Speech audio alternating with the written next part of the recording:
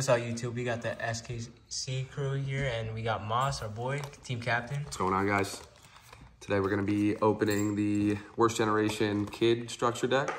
Honestly, I think this is probably the undisputed best deck from OP1.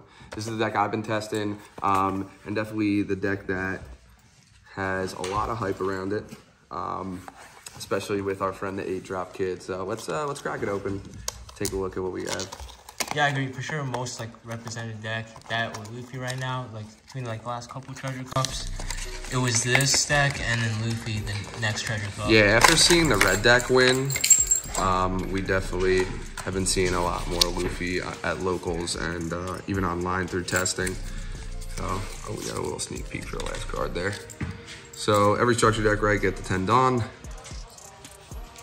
Toss that over there. We have our, our leader. This leader is absolutely crazy. I think um, we talk about how, how insane it is all the time. Just being able to dump Don on it late game, uh, leave the three open, get in there for a 12K swing, restand it, and then swing again for 12K to end is kind of insane. Um, even when we played a little bit of Dragon Ball, um, any leader that was able to restand and swing in for big numbers was always kind of crazy. So uh, definitely, definitely a good leader. I think honestly, even in OP2, uh, Kinemon's a good choice for the early game, but I think you're going to see some people still playing this with the film stuff and some of the more, um, the new Supernova stuff. So I'd give it a try. All right, starting off with the super rares, we have Law. Not seeing much play in the kid deck, but definitely a card that you want to play one or two of in your Law decks if you are playing Law. Uh, the card's insane comboed with some of the smaller supernovas being able to restand and just swing, swing away. Such a um, sick looking card. Yeah, the cards are absolutely sweet too. Love it. This card though, um, has been absolutely crazy for me. Um, in testing, uh, I was messing with some numbers and this card here was definitely something that I started off with like a lower number. I was like, yeah, it's a big drop. It's a big com uh, no combo. But after testing, I just like, I want to see this card. It helps me protect the big kid. Um, helps me to protect my leader in the late game when we're sitting at low life. So definitely something um, I would think about playing. Uh, going into one of the vanillas, 3 drop 5k, uh, we're green, we play Okiku, so there's no real point in playing Vito. But if you are playing this Sanji blue-green kind of vanilla deck next uh, format, that might be something to look at. Let's go Sanji. Yeah, I think that, that might be a pretty interesting deck if built the correct way. Um, here we have Urouge. Um, I honestly, I've never even read the card. If you have three or more characters, this card gains 2k for one Don. It's a two drop 3k. Uh, it's a little bit too much of an investment, honestly. I don't think it's 100% worth, but the next card we're gonna talk about, um, which is nice that they give you four of, is Capone Gang Bege all the decks that can run a one drop uh, blocker should probably run a one drop blocker just because um, unless you're playing something right that's like red that has a Luffy rush, most of the time Capone's gonna be there to stop some damage and that's kind of what you're looking for. Also, um, if you're using the OP1 eight drop kid, uh, this is gonna be dropped to kind of keep him alive too and make your opponent get a little upset. So definitely a card you wanna play. This card, um, I kind of have a love-hate relationship with it. I think playing it off law um, is insane. Being able to just get an extra body when you get it off the life or being able to pop something against red. So I like to play it. Um, I think it's a good uh, two of just to have in the deck. It's an extra 1k combo. So if anything, even if you're not playing it, you're gonna get an extra combo. Agreed. Kobe, Four drop 6K. Once again, in this deck, the green deck, right, we run a lot of things that have different effects. Um, something that we probably don't play, but still, um, if you have the structure decks, probably a good choice just because he's a big body for not too much. One of the best ones. Yeah, the girl. Uh, Bonney is unstoppable. If you're playing anything green, you're probably running Bonney. If you're running Supernovas in your deck. Um, what's nice is, too, she can even add things like Jet Pistol, um, if you're playing Law. So definitely a card that you're to see in the meta if you're playing. All right, the 2K combo here.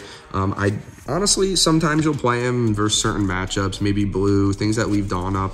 Um, if you can get him down early and he stays up, he can be kind of um, annoying for your opponent to deal with just because you're making them I guess pay an extra Don for their events that they're leaving up. So um, other than that, you're most likely keeping him in your hand for a 2K, but definitely a card that you play four of, or I've been playing four of in OP1 in the kid deck. Hawkins, another card that I've seen go from one in some decks to three. Some people were playing two. Um, I like to play it at three. It's definitely a card in the mirror match you want to see.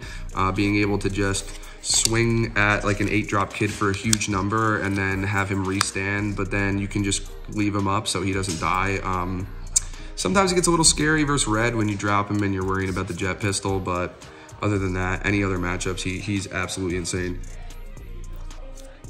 Two drop 4K, uh, we're not playing film, so probably not playing that.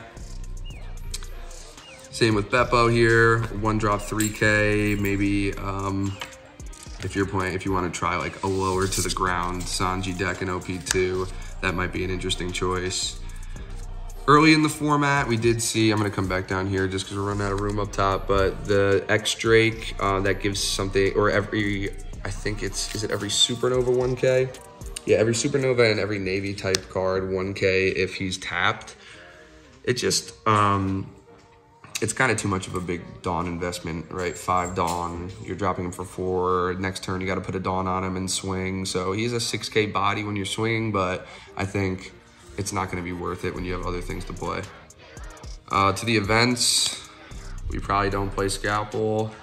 Um, it's okay, but there's just better options. Repel, same with Repel. We're looking more into the OP1 cards, right? Like Punk Gibson and um, the Wano Country card. Why am I drawing a blank here? What are we thinking of? Paradise Waterfall. Yeah, Paradise Waterfall, thank you. Um, yeah, that card's absolutely insane. So we're gonna play Paradise Waterfall. This is a card I was testing at one. Um, the only reason is because it says tap anything. So if you're going against something with a huge blocker and you're trying to get in there with a kid swing to end the game twice, um, instead of that 12K swing, you can get in with a 10K and just tap their big blocker so you don't have to deal with it. So I think the structure deck's actually pretty insane. Um, it's only really missing a few things and then you can pretty much kind of just run with it. So um, if you get two of these structure decks and a couple eight drop kids, you could definitely work with something. Uh, maybe looking to get in some of the Wano cards like Okiku and Izo for more 2K combos. Um, but other than that, I think until we see OP2, this is definitely a deck that you're going to see if you're going to any tournament. So definitely something you want to prepare for. But Soul King Crew TCG, it's Mossy signing off. Like, comment, subscribe to the video, and we'll see you in the next one. Thanks, guys.